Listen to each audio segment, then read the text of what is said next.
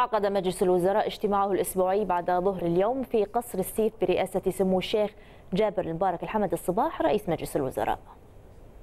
استمع مجلس الوزراء في مستهل اجتماعه إلى شرح قدمه نائب رئيس مجلس الوزراء ووزير الخارجية الشيخ صباح خالد الحمد الصباح للمجلس علما بنتائج الزيارة التي قام بها للبلاد مؤخرا. وزير خارجية جمهورية قبرص الصديقة نيكوس خريستو دوليديس والوفد المرافق له وفحوى المحادثات التي أجراها والتي تعلقت بمجمل العلاقات الثنائية الوثيقة التي تربط بين البلدين الصديقين وسبل تعزيزها وتطويرها في كافة المجالات والميادين كما بحث أوجه التعاون القائمة بين البلدين حيث تم التوقيع على اتفاقية الخدمات الجوية بين حكومتي البلدين ومذكرة تفاهم للتعاون الثنائي بين وزارتي خارجية البلدين.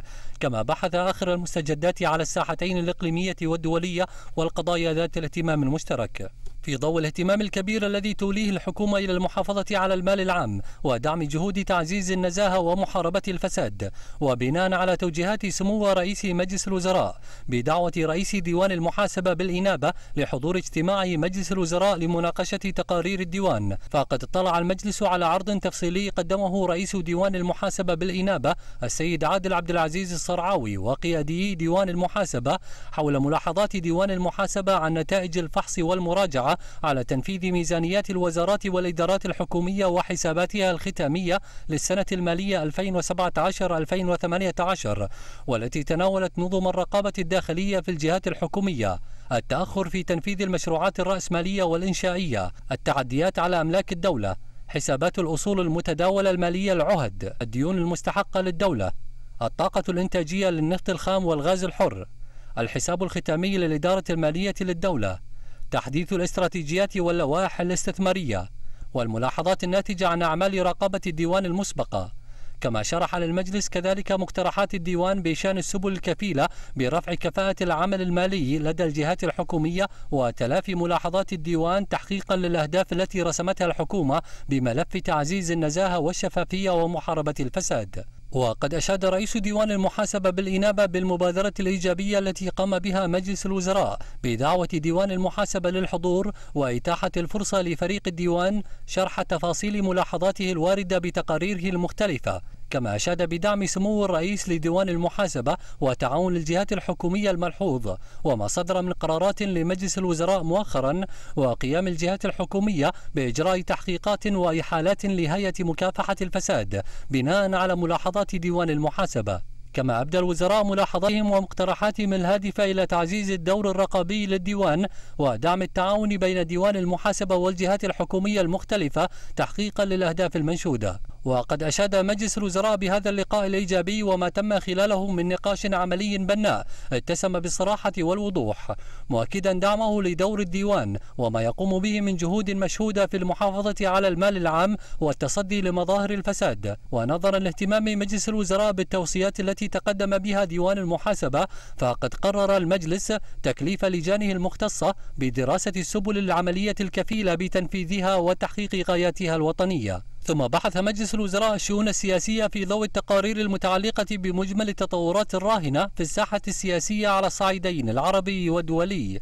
وبهذا الصدد أن مجلس الوزراء مملكة البحرين الشقيقة بنجاح الانتخابات النيابية والبلدية والتي جرت بأجواء ديمقراطية شفافة التي شهدت مشاركة شعبية خلال تصويت أبناء الشعب البحريني الشقيق والتي عبروا من خلالها عن إيمانهم وتمسكهم بتجربتهم الديمقراطية خدمة لوطنهم وتحقيقا لمصالحه العليا.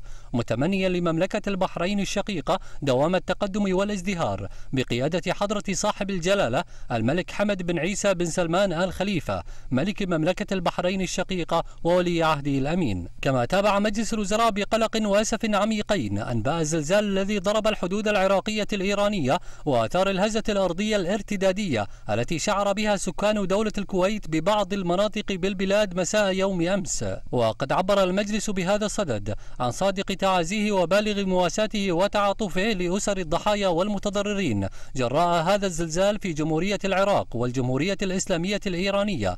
سائل المولى عز وجل أن يتغمد الضحايا برحمته وأن يمن على المصابين بالشفاء العاجل. كما عبر مجلس الوزراء كذلك عن خالص تعازيه ومواساته إلى فخامة الرئيس برهم صالح وإلى الشعب العراقي الشقيق جراء السيول التي ضربت عددا من محافظات العراق مؤخرا والتي راح ضحيتها العشرات من القتلى والمصابين. سائلا المولى القدير أن يرحم الضحايا ويلهم ذويهم الصبر والسلوان. كما أدان المجلس التفجير الإرهابي الذي وقع في سوق جنوب العاصمة الصومالية مقديشو مما أسفر عن وقوع قتلى وجرحى. مؤكدا موقف دولة الكويت الرافض لمثل هذه الأعمال الإرهابية التي تتنافى مع كافة الأديان والقيم والأعراف الإنسانية. كما عرب مجلس الوزراء عن إدانته واستنكاره الشديدين لحادثي التفجيرين الإرهابيين اللذين استهدفا احتفالا بذكرى المولد النبوي الشريف بالعاصمة الأفغانية كابول ومسجدا شرق أفغانستان مؤخرا واللذين أسفرا عن مقتل وإصابة العديد من الأبرياء. وأكد مجلس الوزراء على موقف دولة الكويت المناهض للعنف والإرهاب بكافة أشكاله وصوره سائلا المولى القدير أن يتغمد الضحايا بواسع رحمته وأن يمن على المصابين بسرعة الشفاء.